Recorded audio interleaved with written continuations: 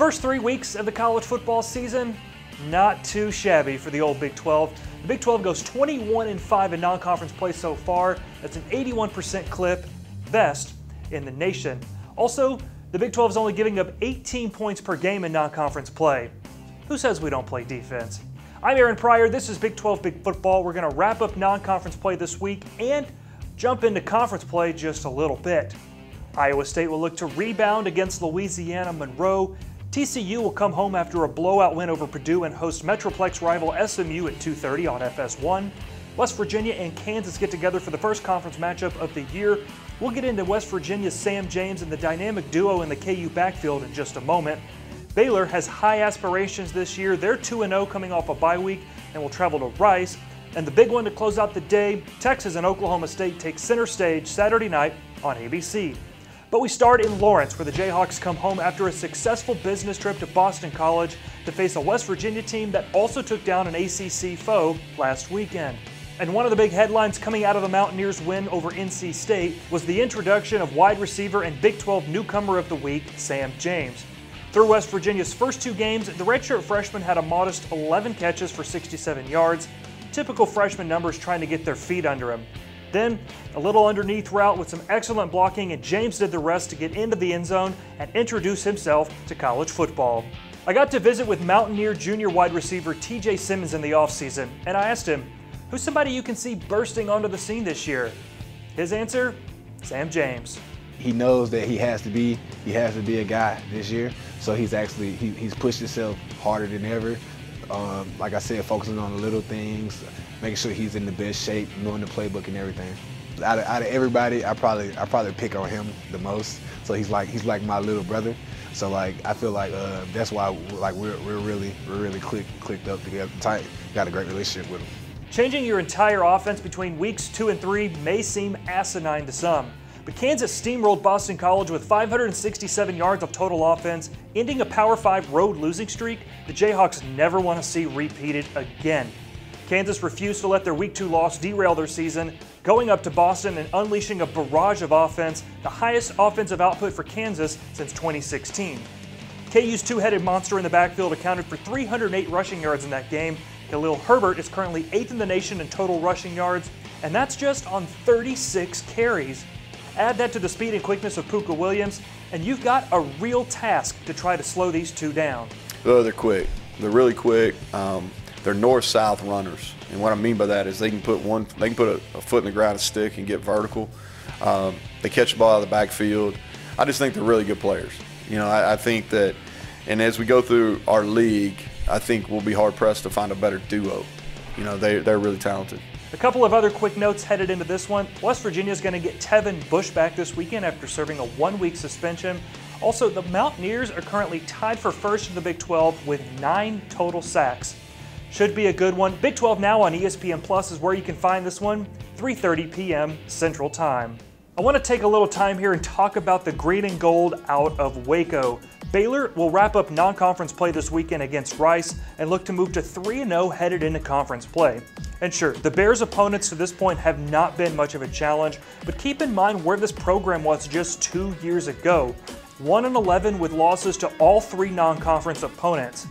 That season had to happen for BU to get where they are now. Now they have a bowl win under their belt and high aspirations to compete for the conference title this year. Baylor has a solid quarterback in Charlie Brewer and a rushing attack that currently ranks fourth in the entire country. Matt Rhule has got things moving in the right direction, but how close are the Bears to being in the conference title race at the end of the season? You know, I don't know. I mean, I, I think that, you know, we, we have a lot of work to do to even put ourselves in that um, conversation, but I think that, that has to be our goal. You know, we have to say to ourselves that we want to be a team that's relevant in the conference championship race coming down the stretch. And, um, you know, even when I, you know, have had teams that have won championships, nothing's ever handed to you. You know, the, the ball bounces funny ways. You have to go out and just compete for 60 minutes. And, and um, but I do like our team's mentality, and I think that they have a championship mentality, and they want to get there. There's a lot of things that have to happen, but I think we have the right approach. Gotta love that green jacket. Bears and Owls get going, 6 p.m., CBS Sports Net. To the sellout in Austin as Oklahoma State comes to town, looking to extend the five game winning streak, the Pokes holding games against Texas in Austin. Spencer Sanders, Chuba Hubbard, and Tylan Wallace are lighting up the stat sheet through three games. Wallace leads the country in receiving yards per game. Chuba Hubbard leads the nation in rushing yards per game, and Sanders, as a freshman quarterback, is in the top 30 in the NCAA in total offense. Tylan busted onto the scene in 2018, a Biletnikoff Award finalist. Wallace had nearly 1,500 yards and 15 touchdowns, and the production thus far hasn't slowed down. Tylan is an extremely hard-working young man. Uh, he's very humble. Uh, he's, he's tough. He's disciplined. He's physical. Uh, he's easy to coach. You, you, tell him something one time, he's going to go do it. He's never going to look back. Never tries to get out of anything. That's where he's made great strides. He's always had ability. His route running has improved. Uh, we have the best wideout coach in the country in Kasey Dunn, and they've worked together in the spring. And there's no question he'll even improve on last year's. Texas bounced back last week and cruised to a 48 13 win over Rice. The Horns had a 31 0 lead headed into halftime. Texas, of course, has their share of talented receivers, including Devin Duvernay, who leads the league in receptions per game and is second behind Wallace in receiving yards per game. Diving into the numbers a little bit here, Texas is second in the league and 10th in the country in passing offense and has put up at least 45 points in each of the Longhorns' first three games. To me, this game has high scoring shootout written all over it. Oklahoma State and Texas are both in the bottom of the Big 12 in passing yards allowed per game and total yards allowed per game.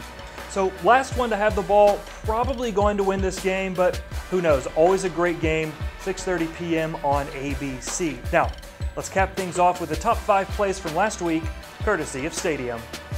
First down on Kansas' first possession here, in the second half. Give to Herbert, wide open to midfield.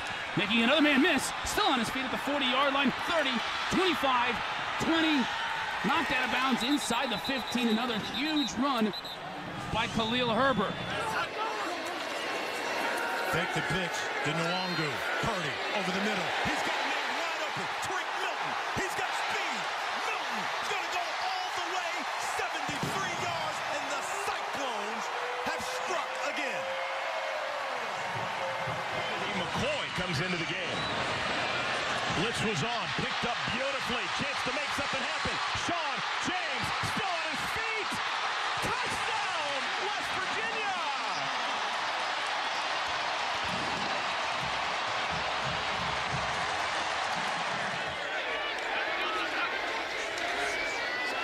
Another swing out. Deshaunte Jones throws it. He's got a man wide open. LaMichael Pettway. Touchdown. Iowa State, 51 yards.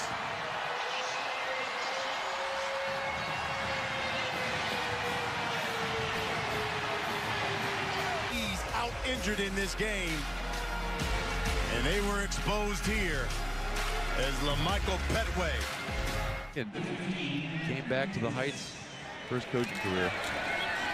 Herbert trying to make something happen here and does. A big run for the Kansas back. 50, 40. Stiff arm still on his feet. Has a blocker in front of him. 15, 10, 5.